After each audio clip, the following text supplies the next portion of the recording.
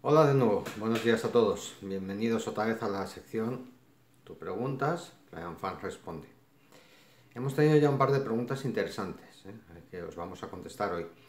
Pero sí nos gustaría que os animáis un poquito más y nos preguntarais más cosas, porque lo que queremos es eh, explicaros las cosas que nos preguntáis, porque nos encanta enseñar y explicar. Y segundo, porque es una oportunidad, como os dijimos, pues para estar en contacto y para saber un poquito más de, de Fly and Fan, para saber un poco vuestras inquietudes. Así que por favor, animaos, no, no tengáis eh, dudas en escribirnos, eh, no dudéis, nos preguntáis lo que queráis saber. Bien, tenemos ya las dos primeras preguntas, como decíamos, y la primera nos la hace Víctor. Leo textualmente.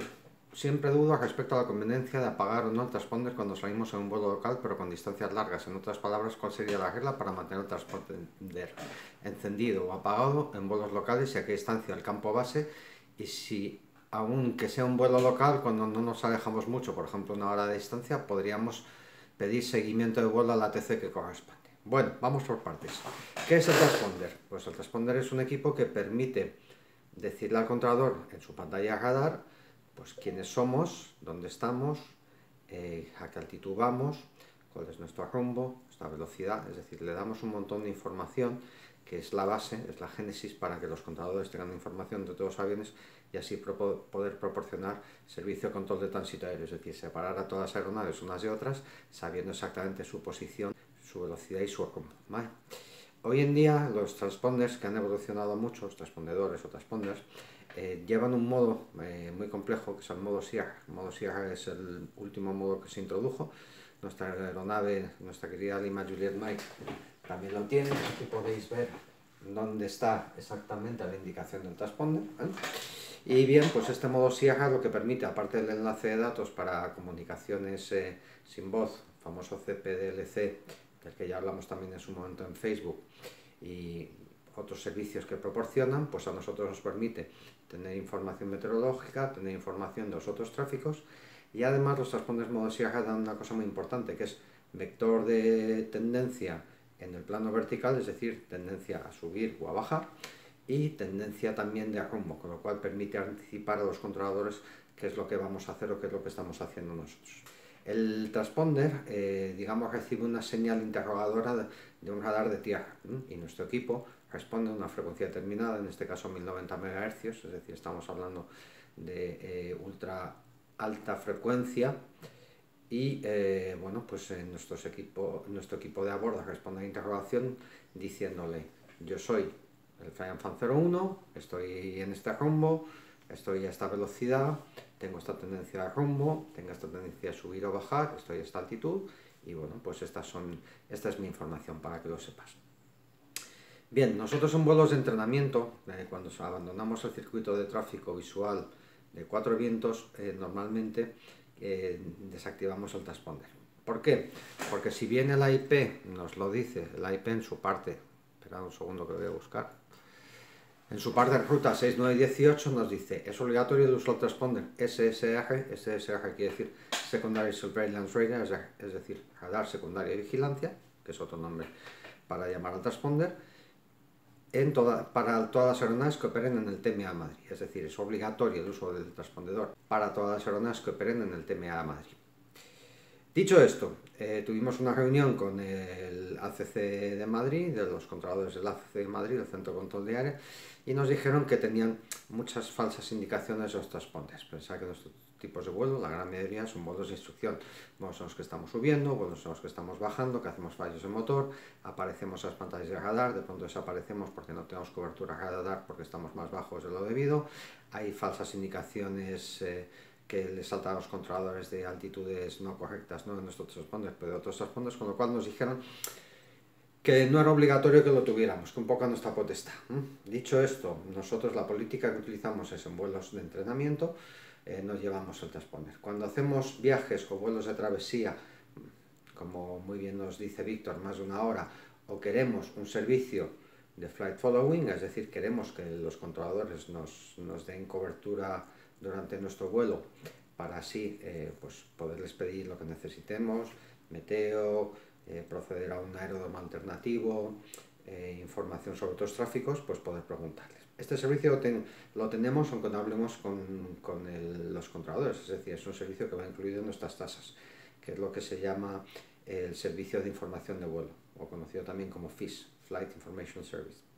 Ese servicio eh, va incluido, como os digo, en las tasas y lo que tiene es que automáticamente tenemos derecho a seguimiento, control, información y alerta. Es decir, si tenemos un problema nos ayudarán en lo que necesitemos si pedimos información meteorológica de cualquier tipo, de aeródromos o de otros tráficos, pues también nos lo proporcionarán. Bien, es cierto que si llevamos el transponder encendido será más fácil que sepan dónde estamos, localizarnos y hacer un seguimiento de nuestro vuelo. Pero para vuelos de instrucción no cabe duda pues, que para ello supone más un engorro. Eh, por supuesto, en vuelos de travesía siempre viajamos con transponder encendido. Si hacemos travesías a otros aeropuertos, por supuesto también. O sea que el criterio es un poco el tipo de vuelo que vamos a hacer. Si hacéis vuelos, eh, digamos, de travesía a otros aeropuertos o alejándoos un poco de cuatro vientos o simplemente porque queréis hacerlo, por supuesto, utilizad el transponder. Nosotros en vuelos de entrenamiento, otra cosa son los pilotos que ya vuelan solos en el club de vuelo, nosotros en el entrenamiento, nuestros pilotos privados, pues utilizamos el, el transponder siempre en modo stand-by cuando salimos del circuito de tráfico de cuatro vientos y luego lo volvemos a activar cuando ya estamos próximos a punto Sierra, punto November, que son los puntos de entrada visuales al, al circuito de tráfico de cuatro vientos, para que esos controladores sepan dónde estamos. ¿Cuál es la cobertura? Que es las preguntas también que mucha gente nos hace. Pues prácticamente los controladores de cuatro vientos, si vamos a transponder, nos pueden ver en todo el tema de Madrid, es decir, en todo el área digamos, de Madrid, tendríamos, eh, estaríamos cubiertos por cuatro vientos y también por el resto de controladores de los centros de control de área de Madrid con sus respectivos sectores.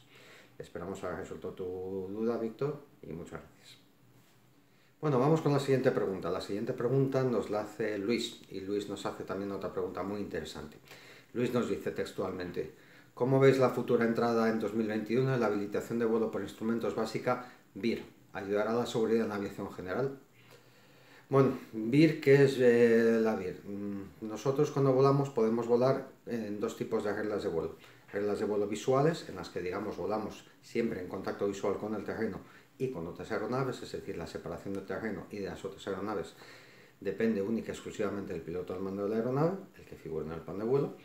Y luego está vuelo por reglas de vuelo instrumentales. Esas reglas de vuelo instrumentales quiere decir que cuando yo no estoy en condiciones de vuelo visual, como sucede en nubes con meteorología con techos bajos o de noche, digamos que la separación de las otras aeronaves y del terreno nos la dan los controladores. El vuelo instrumental es una habilitación diferente a la que nosotros eh, damos en nuestros cursos, es decir, nosotros proporcionamos lo que es la habilitación de piloto privado de avión, que permite volar aviones monomotores, es decir, de un solo motor en condiciones de vuelo visual, pero si quisiéramos volar el famoso BIR, que es un IFR, ahora lo explicaremos en detalle, más em, suave, más light, por así decirlo, pues tendríamos que sacar una nueva habilitación que sería esta del BIR. ¿Qué es el BIR? El BIR salió eh, como requerimiento de ASA para facilitar la transición de vuelo visual em, a vuelo instrumental en la aviación general. Eh, históricamente ha habido muchísimos accidentes de vuelos visuales que se han metido en condiciones de vuelo eh, visuales muy marginales o con muy mala visibilidad y ello ha provocado accidentes. EASA, con intención de mejorar la seguridad de los eh, pilotos de aviación general y sus aeronaves, propuso la introducción, en vez de una habilitación de vuelo instrumental, pues propuso que la aviación general se introducía un IFR un poco más light, un poco más ligero. Y ese IFR light es lo que se llama el BIR. Este nuevo BIR que va a entrar en el primer cuarto de 2021 pretende facilitar el vuelo eh, a pilotos que salgan de un aeropuerto, pongamos visual como puede ser cuatro vientos, hagan una transición a vuelo instrumental, hagan todo el vuelo en condiciones de vuelo instrumental y aterricen a otro aeropuerto y en condiciones marginalmente instrumentales. Es decir, el BIR lo que nos permite es llegar hasta el límite del VFR especial, que el VFR especial es un tipo de vuelo VFR, VFR de Visual Flight Rules, en el que podemos volar por debajo de las condiciones mínimas de vuelo visual en condiciones muy determinadas. Esas condiciones muy determinadas son que en vuelo visual tenemos que tener una visibilidad horizontal mínima de 5 kilómetros, es decir, lo que vemos horizontalmente, tanto en el aeropuerto y nosotros en vuelo, tiene que ser un mínimo de 5 kilómetros, y el techo de nubes, es decir, la base de las nubes, donde empiezan las nubes, tiene que estar a 1500 pies sobre el suelo. 1500 pies son unos 500 metros, para que os hagáis una idea. Bien, pues con el UFR especial lo que dijeron es si yo salgo en condiciones de vuelo UFR y luego por lo que sea al volver las condiciones en el campo se deterioran hasta el punto que yo no puedo entrar en UFR, este VFR especial lo que me permite es entrar y aterrizar con esas condiciones un poco más marginales y por debajo de las mínimas de vuelo visual, pero que se consideran lo suficientemente seguras para aterrizar. ¿Qué condiciones son esas? Pues son visibilidad mínima de 1500 metros en horizontal, es decir, tenemos un margen entre los 5 kilómetros que era el mínimo de vuelo visual hasta los 1500 metros, que es el límite inferior del VFR especial. Y el techo de nubes que sabíamos que en VFR eran 1500 pies, ahora se baja hasta 600 pies, que al cambio más o menos son unos 200 metros. O que no haya nubes en el circuito de tráfico visual para que nosotros podamos aterrizar visualmente. Bien, pues lo que nos dice el BIR es que nosotros podemos proceder instrumentalmente a, a otro aeropuerto y aterrizar, pero siempre y cuando tengamos una visibilidad que corresponda a la de el mínimo del VFR especial, es decir, una visibilidad de por lo menos 1500 eh, metros en horizontal y un techo de nubes, dejadme que lo consulte, de 600 pies AGL, efectivamente, eh, o la altitud del circuito. Es decir, que lo que nos viene a dar este BIR es la capacidad de volar en vuelo instrumental durante el vuelo de travesía a otro aeropuerto, pero las condiciones de aterrizaje en ese aeropuerto serían prácticamente las mismas que si hiciéramos un VFR especial. Esto está previsto, como os decía antes, que entre en servicio en el primer cuarto del año que viene. Habrá que hacer un curso en NATO, nosotros estudiaremos y lo pondremos. Y bueno, ¿en qué creemos que puede mejorar? Pues obviamente si uno quiere proceder a otro aeropuerto desde el de salida, eh, que tanto uno como el otro están en condiciones eh, visuales o por lo menos en condiciones de VFR especial, y poder hacerlo a pesar de que el tramo de ruta sea vuelo instrumental. Es decir, lo que facilita es no restringir tanto las operaciones a vuelo visual si por lo que sea hay algún tramo de la ruta que no sea visual. Esa es la parte positiva. Eh, la parte, digamos, eh, negativa. El vuelo instrumental en aviación general es complejo. ¿Por qué? Porque, digamos, los aviones que volamos normalmente no están certificados para volar en condiciones de engelamiento, no están certificados para unas condiciones meteorológicas eh, eh, instrumentales eh, adversas, realmente adversas. Todos aquellos que, como yo, durante nuestra instrucción en algún momento hemos cogido hielo, sabemos que aviones de aviación general, pues tipo las Cessnas, aguantan muy mal, digamos, las condiciones de engelamiento. Por lo tanto, sería para hacer un IFR muy suave, es decir, sin engelamiento prácticamente y con unas condiciones visuales em, limitadas, es decir, mejora la seguridad porque nos permite volar bajo unas ciertas condiciones que normalmente en VFR no podríamos volar, pero por otro lado no es una carta blanca para que volemos en cualquier condición, porque los aviones de aviación general, como os digo, no están preparados que deberían estar para eh, volar en vuelo instrumental, por lo menos los nuestros. Hay ciertos aviones como las Cierros o aviones más grandes monomotores, pues que están ya más equipados pues tanto con radar como protección contra el engelamiento. Pero ojo, hay condiciones de engelamiento que incluso pueden superar aquellas esos aviones que en teoría llevan esa protección. Hay engelamientos muy severos que no debemos desdeñar a pesar de llevar una protección eh, anti-hielo. Bien, entonces eh, ese BIR, por, por un lado, nos va a dar la seguridad de poder volar en esas condiciones eh, que normalmente no podríamos eh, volar en vuelo visual, pero por otro lado, pues son para unas condiciones de vuelo instrumental muy suaves. No hay que olvidar también que si en ruta está todo cubierto de nubes y tenemos un fallo en motor, si no tenemos un aeropuerto al alcance de, de la distancia de planeo, pues entramos un poco en terra incógnita, es decir, tendríamos que descender por debajo de las nubes y eh, descubrir al pasar las nubes qué es lo que nos encontramos debajo mientras que en modo visual, pues obviamente siempre tenemos la posibilidad de ver perfectamente eh, si Siempre es cierto que cuando nos aproximamos al suelo descubrimos cosas que más altos normalmente no solemos ver, pero por lo menos tenemos más posibilidad de evaluar el terreno y evaluar si es adecuado para realizar un aterrizaje de, de emergencia. Eh, la parte también positiva que tiene el BIR, pues obviamente con un entrenamiento para vuelo instrumental le obliga a ser mucho más preciso, a confiar más en los instrumentos, a que si, aunque no usemos el BIR, Em, tenemos un día unas condiciones de mala visibilidad o incluso nos encontramos en condiciones de VFR especial, pues nos va a permitir volar con más seguridad porque vamos a volar prácticamente apoyados en, en el vuelo por instrumentos. Obviamente el tener el Garmin para VFR especial como para el VIR pues es una ayuda buenísima porque nos permite meter directos, tenemos la información del terreno en pantalla, es decir, tiene unas ventajas realmente espectaculares y que solo soñábamos hace apenas 10 años en la aviación general.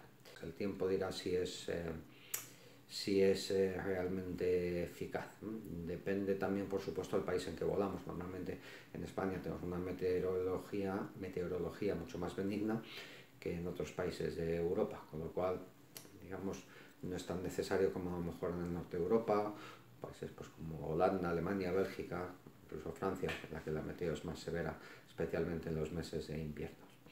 Un último apunte, para volar BIR de noche hay que tener antes la habilitación de vuelo visual nocturno, es decir, la VFRN hay que tenerla antes de poder hacer el, el vuelo eh, BIR de noche. Por lo demás, eh, durante el día, pues eh, tener la habilitación BIR sería suficiente. Luis, espero haber aclarado tus dudas, también a vosotros, si tenéis alguna duda más de lo que sea, o incluso que hayan surgido durante estos temas, pues aquí estamos, deseando escuchar vuestras preguntas, conocerlas y responderlas. Así que os volvemos a animar a que nos escribáis y nos contéis vuestras dudas. En principio nos veremos el lunes que viene. Que paséis buena semana. Fly and Fun.